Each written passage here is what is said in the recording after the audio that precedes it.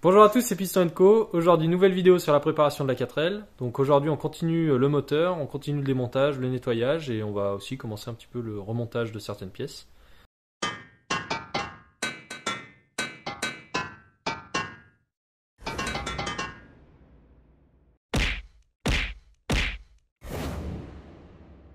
C'est parti. C'est parti? C'est parti. C'est parti. Donc ça c'est le bloc euh, tel qu'il était la dernière fois. S'il a été nettoyé quand même. Là on a toujours nos chemises et nos pistons. On va essayer de nettoyer euh, le circuit de refroidissement, le bloc là à l'intérieur. Donc euh, Grégoire a déjà enlevé le tendeur. Là on va enlever les pignons, la chaîne. Peut-être sortir l'arbre à cam aussi. Changer ce joint là, ce sera plus simple. Faudra qu'on enlève aussi le volant moteur. On va déposer les, soupapes, la rampe de culbuteur, les soupapes pour vérifier les sièges, les guides et changer les jointes de soupape.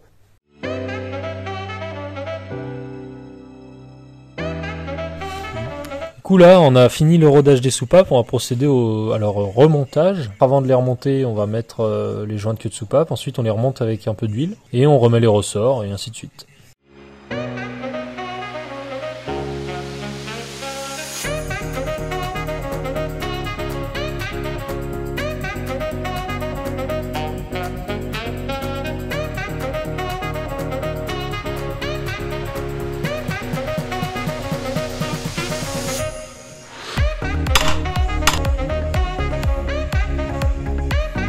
Pour la situation numéro 1, premier du week-end en gros, eh ben, c'est un échec. Donc euh, les images que vous avez vues avant, bah, ça n'a pas marché. L'arrache euh, tient toujours. Par contre, euh, le pignon est toujours accroché. Et on n'arrive pas à l'enlever. Donc on va passer à une étape supérieure. On va enlever le vilebrequin. Le- Et...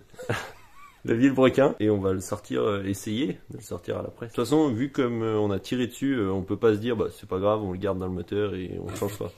Donc on est obligé de l'enlever. D'autant plus qu'on a essayé de mesurer le dépassement des chemises, sauf qu'elles ont pas l'air de dépasser des masses. Les joints d'en base doivent être euh, tassés quoi. Du coup, eh ben, on va en profiter aussi une fois qu'on aura sorti l'huile brequin pour enlever les bielles, les pistons, et sortir les chemises, changer les joints d'en base, et puis ça nous permettra de nettoyer le bloc quoi. Exactement. Petit dessert là? Ah oui.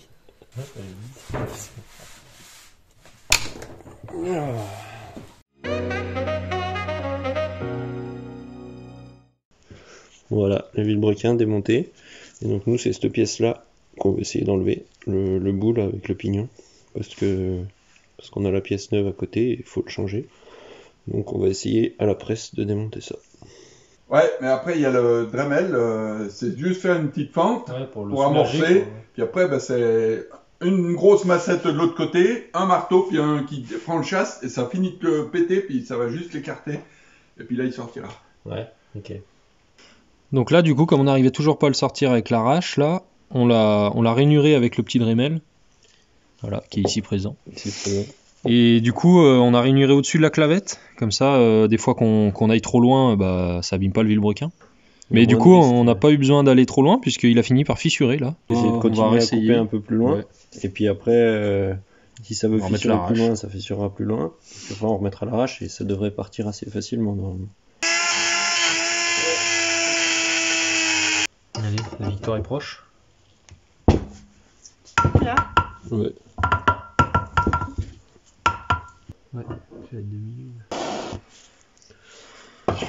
Donc elle a bien changé de couleur, elle était grise au départ. Et là, on va pas perdre de temps. On va en mettre tout de suite.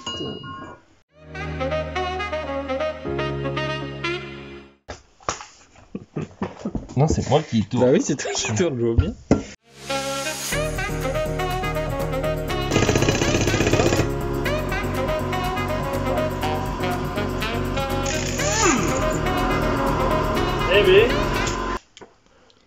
Alors, pour situation numéro 2, on a réussi finalement. Ouais, parce qu'on est trop fort. Donc euh, bon, on a vraiment beaucoup chauffé, on a coupé pour sortir l'ancien et pour remettre le nouveau, bah, on n'a pas coupé parce que sinon euh, ça sert à rien.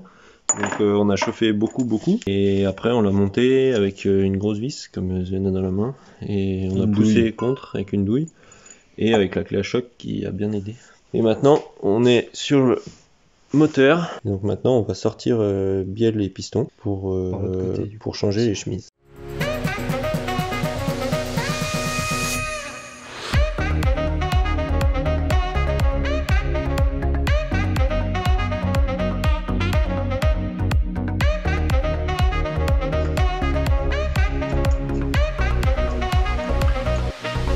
Coup, voilà, on a sorti les quatre chemises. Bon, elles sont sorties hyper facilement, donc je pense qu'on a bien fait de les faire parce que ça se trouve, elles avaient bougé un peu quand on avait sorti la culasse, je sais pas.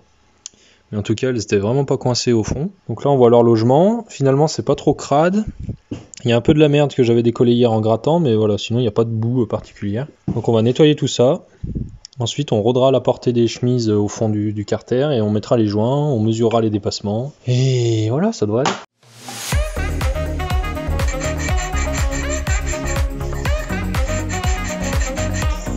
Ah ouais, elles sont.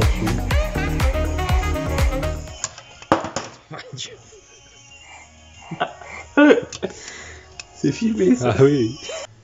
Alors pour expliquer un peu notre travail, là on est en train de remonter les pistons qui sont juste ici. On les remet dans les chemises. Et donc du coup bah on s'est bien mis dans le bon sens puisque le piston a un sens, euh, la chemise aussi. On remet le joint d'en base. Donc il y a plusieurs épaisseurs de joint en fonction de la, couleur du joint. Il y a des rouges, il y a des blancs, il y a des noirs. Parce que la chemise, faut qu'elle dépasse un petit peu. Donc du coup, euh, on règle avec les, épaisseurs de joint. Et il faut qu'elle dépasse environ de 0,1 mm. Et donc là, on est correct. On met le piston à l'intérieur. À l'aide de ce- cet outil très pratique qui sert à serrer les segments autour du piston. Ensuite, on y pose dans la chemise et euh, on peut faire glisser le piston et les segments se récartent peu. Donc ça diminue le risque de les abîmer en les montant, c'est très pratique. Là, on a le cas classique euh, des moteurs qui n'ont pas tourné depuis longtemps. On voit qu'il y a deux segments qui sont bien libres, mais qu'il y en a un qui est collé au fond de sa gorge. C'est un segment qui est gommé. Et donc ça, euh, soit il faut faire tremper dans des produits qui vont dissoudre un peu la merde, soit là on va essayer de le chauffer. Peut-être qu'en chauffant, ça peut décoller un peu le goudron qu'il y a derrière, on va dire, et puis, euh, puis leur donner, euh, leur donner de l'élasticité.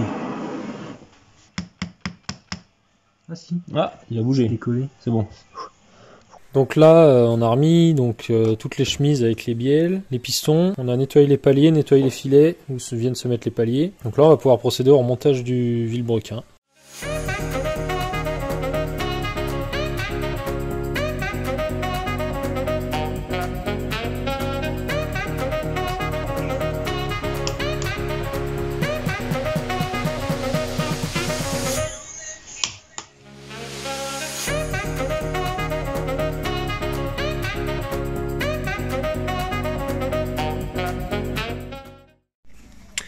Voilà, donc là, on a nettoyé le carter de distribution, on a mis de la pâte à joint, on a mis le joint en liège, on a remis un petit peu de pâte. Et on va pouvoir le remonter euh, sur le moteur. Du coup, on a remis le carter de distribution. On a mis les petits joints en plastique qui vont de chaque côté, là. Juste ici. Voilà, ici et là. Et on a mis les deux joints liège avec de la pâte à joint de chaque côté. Et pour faire l'étanchéité euh, entre les deux, bah déjà on a mis pas mal de pâte à joint et le joint noir il passe par dessous, il s'affine vers le bas et ensuite on pose le joint liège dessus qui a une entaille fait exprès pour euh, recouvrir le joint noir et normalement ça devrait être étanche. Donc là on va poser le bloc par dessus. Comme ça C'est tout bon, on a mis tout le monde. Hein. Non, non, non, je sais pas C'est bon. faut y pousser. Du coup, euh, voilà, la culasse est remontée, les vis sont juste approchées contre. Pour l'instant, le joint il est bien aligné, la culasse aussi par rapport au bloc.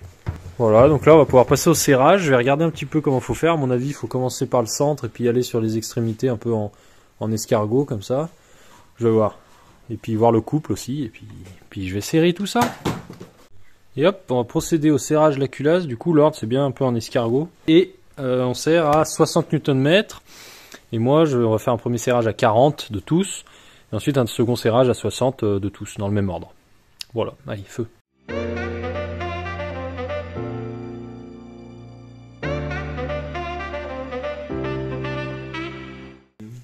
Donc les supports moteurs sont remontés.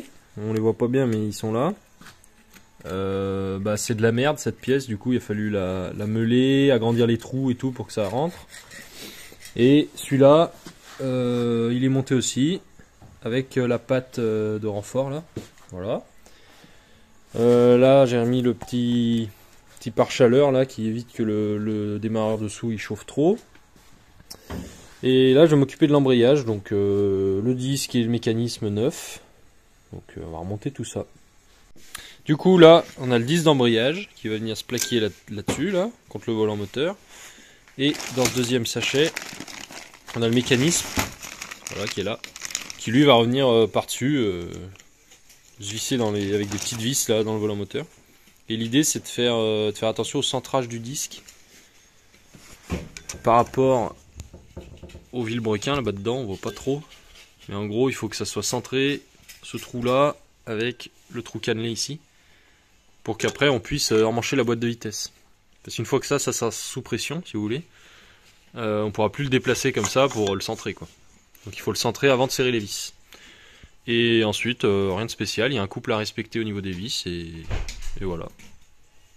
Voilà, donc là, on voit à peu près le centrage. Normalement, ça doit être bon. Donc les 6 vis du mécanisme, elles se serrent à 15 Nm. Voilà, donc je vais les serrer.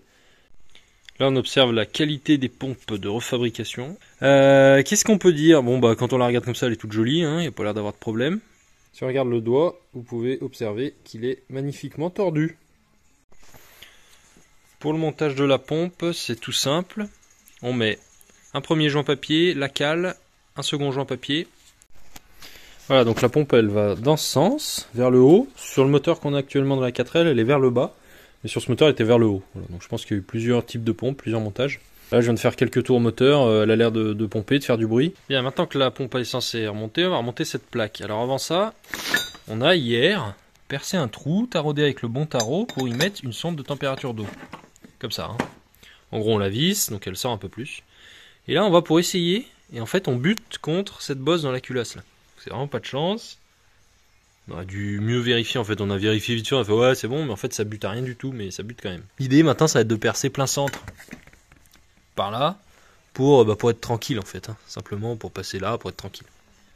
Au niveau de la voiture, faut vérifier aussi que ça passe. Vous voyez, dans l'écart là, il y a, là, il y a facilement euh, 7, 7 cm, je dirais, 5-7 cm. Mais avant ça, bah, il faut évidemment que je rebouche en fait le trou qui a été fait là. Donc je vais souder, hein, c'est une plaque en acier. Voilà. J'ai soudé, meulé. Donc ça a l'air... euh, Enfin, il n'y a pas de trou, donc on verra si c'est étanche.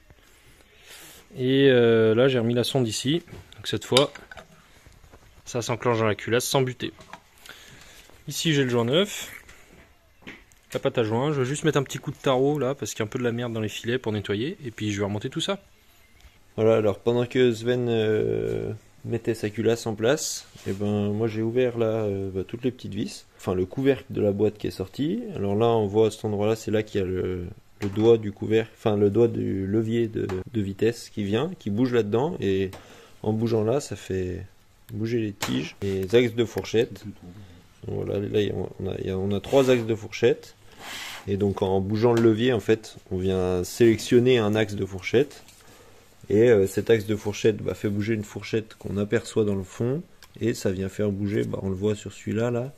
Ça vient faire bouger euh, le, pignon baladeur, exactement. Qui fait que bah, ça va enclencher soit une vitesse, soit une autre. Un morceau de la fourchette, si on peut appeler ça une fourchette qui est ici. Donc euh, quand on vient activer seulement ce doigt de fourchette là, ça vient faire bouger cette, cette patte là, vient faire bouger ce pignon baladeur et qui vient s'enclencher, je pense juste ici. Et le fait de rajouter un pignon, bah, ça inverse le sens de la marche. Du coup, eh ben, euh, on a une marche arrière. Donc là, on va changer les joints du différentiel parce qu'il faut remettre en fait cette bague filetée pile poil au même endroit, qu'elle était, puisqu'elle règle le jeu dans les dans les roulements du différentiel. Donc j'ai fait deux marques là, deux marques là. Là, j'ai fait comme un petit trait rouge. Donc là, l'idée, ça va être de la démonter. On n'a pas la clé spéciale, donc euh, je pense avec des petits chasses en tapant dans les dans les créneaux là, ça devrait tourner et ça devrait sortir assez facilement. C'est ce qu'on va voir en tout cas. Voilà, donc là j'ai enlevé le gros écrou. Ça s'est super bien passé. Je l'ai défait avec une clé à filtre. Ça va vachement bien en fait. Ça se prend dans l'écran et ça va tout seul. Donc le voilà, je vais lui mettre un coup de propre. J'ai enlevé le vieux joint spi en chassant par les deux trous qui sont là. Ça chasse le joint spi. Là j'ai le neuf. Je vais lui mettre un petit peu d'huile sur le pourtour, le renfoncer bien au fond avec une grosse douille. Voilà, le joint spi est remonté. Il est bien embuté, là on voit. Voilà.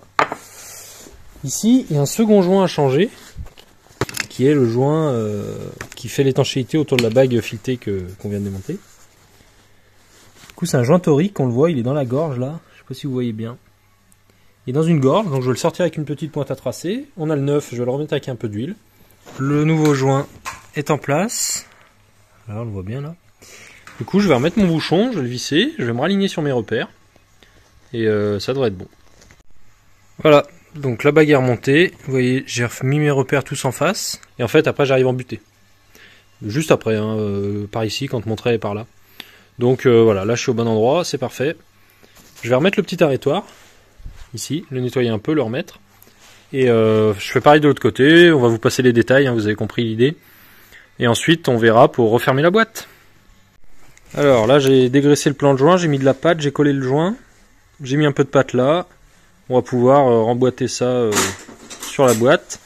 Un peu d'huile dans le joint spi et sur la queue de boîte pour que ça se remboîte sans l'abîmer. Et puis voilà. Du coup, tous les joints de la boîte sont changés, la cloche elle est remontée avec de la pâte et un nouveau joint. Les sorties de boîte on a vu, le couvercle on a vu aussi. La butée d'embrayage. La butée d'embrayage est remontée. Solide, bonne butée d'embrayage. bonne Ouais, ça, ça a l'air de la merde, on va vous dire pourquoi. Parce que pour vérifier qu'elle tenait bien, j'ai tiré par la butée si vous voulez, elle est sortie de son support. Parce que celle d'origine, elle a des sortes de clips en fer à cheval, là, on les voit bien, qui retiennent euh, la partie roulement sur la partie support, vous voyez. Alors que celle-là, c'est juste emmanché dans une sorte de, de manchon en caoutchouc qui a une des sortes de, de, de- D'ergot, un peu D'ergot, sur les côtés ouais. pour euh, retenir la butée. Et voilà. Donc c'est si pas grand tire un peu chose. fort, bah ça tient pas. Ouais. Mais bon, en fonctionnement, on tire jamais dessus, on fait que pousser, mais enfin bon. C'est pas, c'est pas, ça a pas l'air aussi solide que d'origine, quoi. Et ben, en tout cas, là, on va pouvoir changer le support moteur, le support de boîte. Celui-là, on en a un neuf.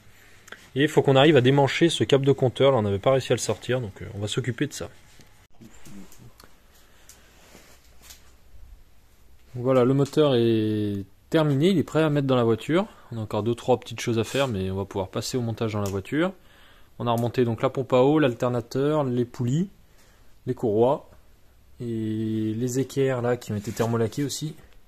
Les équerres de renfort entre la boîte et le, bloc moteur des deux côtés. Voilà, le démarreur. Et au niveau de la voiture, Grégoire a peint en blanc euh, tout l'intérieur, tous les intérieurs d'elle, en fait, tout le compartiment moteur. Et en noir, le châssis. Donc là, c'est magnifique. Et avec ce magnifique moteur dedans, ça va être euh, très joli. Magnifique. Magnifique. Voilà, donc euh, ben, on va pouvoir repasser au remontage dans la voiture. On va mettre un bon coup de nettoyage ici, parce que c'est le bazar. Et euh, c'est parti.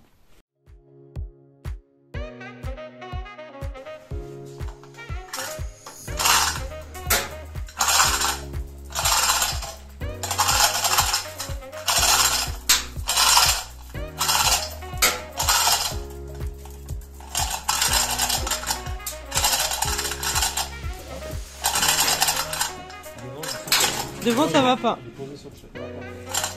Si. Non, oui, presque. Là, c'est bon, ça descend. Nickel.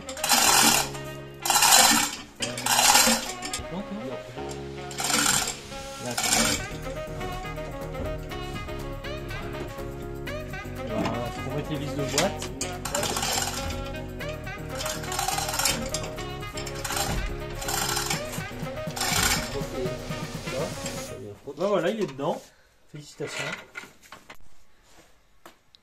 Ah oui, là, il faut bien tout ça. Bien. On a tout remonté, c'est à peu près prêt à démarrer. Euh, on n'a pas tout remis exactement, mais on a juste mis les durites, le radiateur pour dire de mettre de l'eau. Euh, et là, on est après mettre l'huile. Voilà, Voilà. donc l'huile, On va mettre, comme d'habitude. hein. 3 litres euh, 25. C'est de la 1540 qu'on met. Exactement, parce que dans une 4L, il faut de la 15-40. Voilà. Ou de la 2050 à la rigueur, mais 1540 c'est bien. Bien, on a tout remonté, on va pouvoir passer à la mise à feu. On a vérifié la pression d'huile avec notre petit manomètre, elle monte. Le voyant d'huile s'éteint, l'huile elle monte jusqu'au culbuteur. On a fait venir l'essence jusqu'au carbu et on a remis l'allumage, donc on va, on va tenter.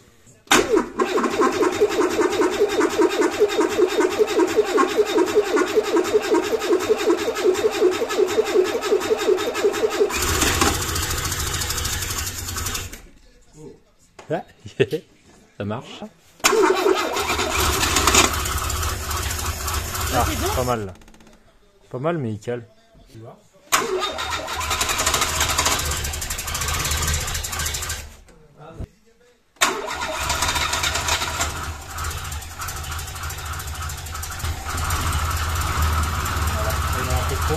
mais alors, euh, Ah oui.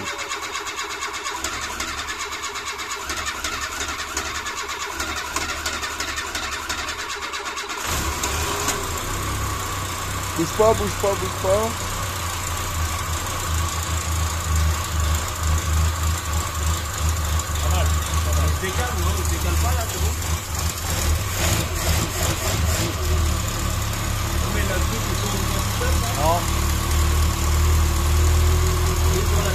Il a trop d'avance là, tu vois. Trop d'avance là. Ah, t'entends ça. Il s'emballe là, tu vois. Voilà.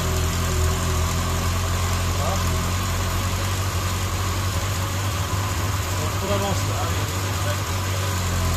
Trop de retard. Euh, trop de retard. Euh, là, il est pas mal.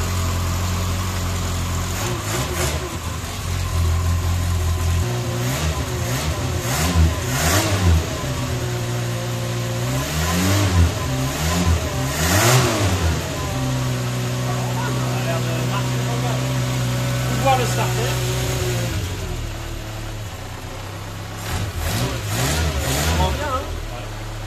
Ah ouais, Ça, ce tic-tic là, ouais. sur, sur trois pattes là. Tout bleu là. Ah ouais, il fait un, sale bruit. Ah là, faut... tu peux retomber ton cache culbuteur là. Il y en a peut-être un qui s'est desserré. mais c'est pas- Ouais, il y en a peut-être un qui était pas bloqué et puis qui s'est desserré.